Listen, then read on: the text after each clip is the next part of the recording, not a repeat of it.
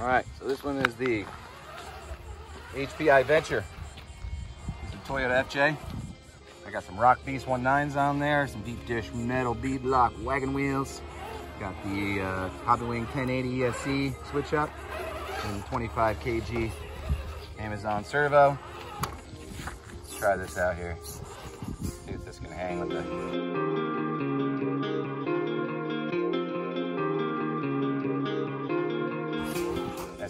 SCX-10 with a few modifications.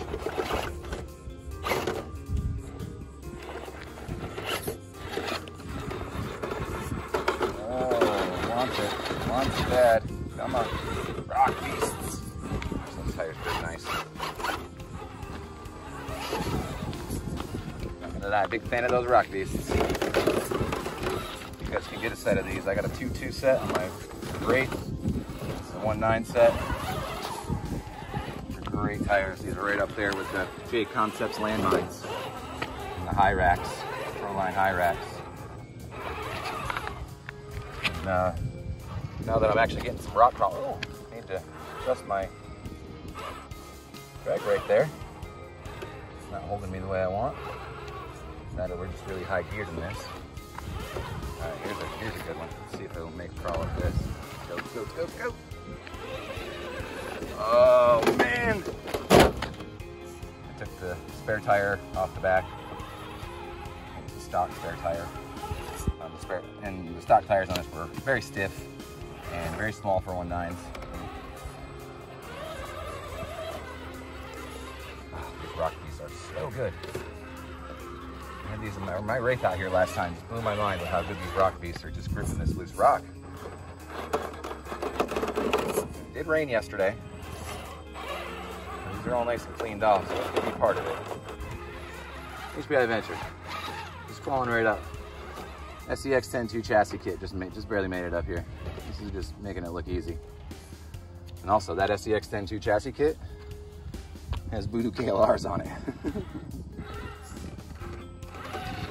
Uh, I'm impressed right now with this bad boy. I'm, I'm really liking this.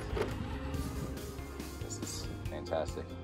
Uh, I'm not gonna try to go down with this since my drag brake's not working. This is a pretty steep all the way down there. Up here, we're probably a good 20, 25 feet up. And it's a pretty good incline. You know what? I'm gonna try it. Heck it. Heck it. Who cares? Break it. Then we just upgrade, right? Alright, where it gets to. Gotta get over.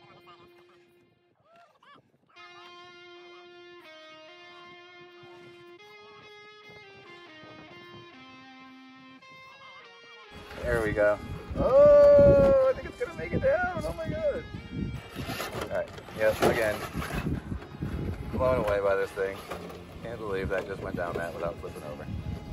Wow. 1080 made a huge difference. I'm still running stock 35 turn motor. Yeah, rock, these rock beasts, this might be my go-to tire. Um, I still haven't got the landmines out here to test those or the Hyrax yet, so we'll see what happens there. I know a lot of guys say biggest difference you can make to your crawler is adding tires, but I can't express how important that is actually.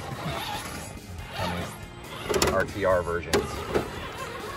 I mean, look at that. What is that? What? What? I have my G-Made Buffalo out here. Two different sets of wheels on it. Kryptons and a class, set of class ones. I had to hop up over that, floor it, jam it, did a big bounce. That just crawled up it like it wasn't even there. So, let's try some other stuff. It's a little challenging. This is a real steep incline. Hard to tell with these videos sometimes about these inclines, but I can get this. Oh my goodness. Oh my goodness. Here you go. Give the rest of this here. what do you think? Down the other side? Let's do it. Yep, just like that. Let's try to come up that. Oh, I'm gonna have to cut more off that fender there, I think. Rock beast. Really surprising me.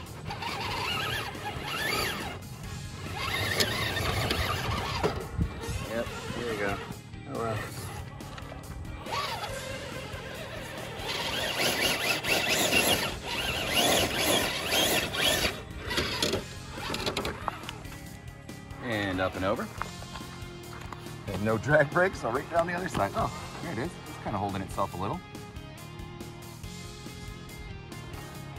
Look at that. I didn't even use throttle there.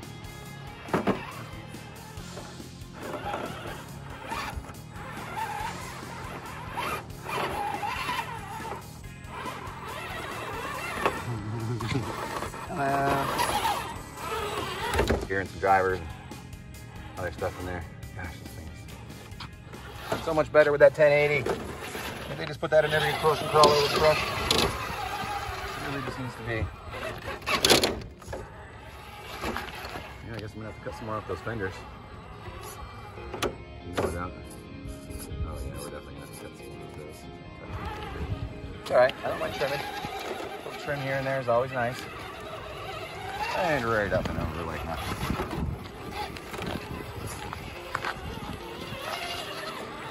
Background out, huh?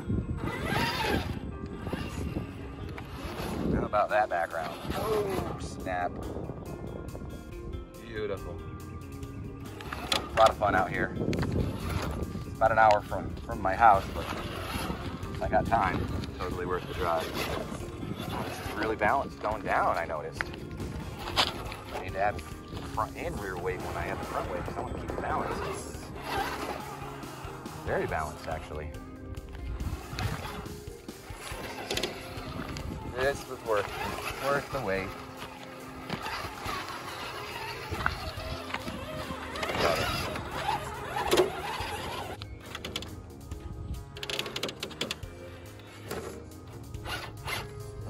Whoa. It's gonna be bad. It's gonna be tough right here.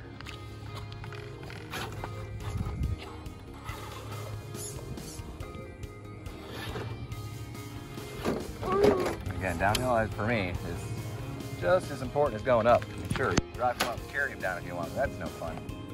Things that you've got, you know? Getting that test.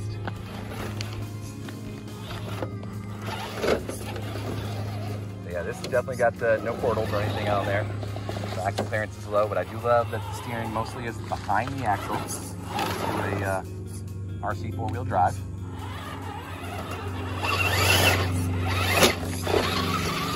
Side. Pound up that real quick.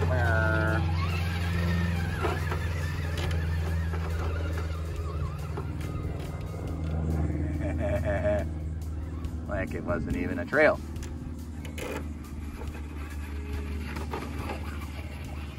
Down, way down. Yeah, a little more fender trimming on this and maybe a little more bias weight in the front. Like I said, maybe a little brass up there, maybe brass all around. All right, everybody, thanks for watching. Hope you enjoyed, and we'll see you next time. Get out there and have some fun.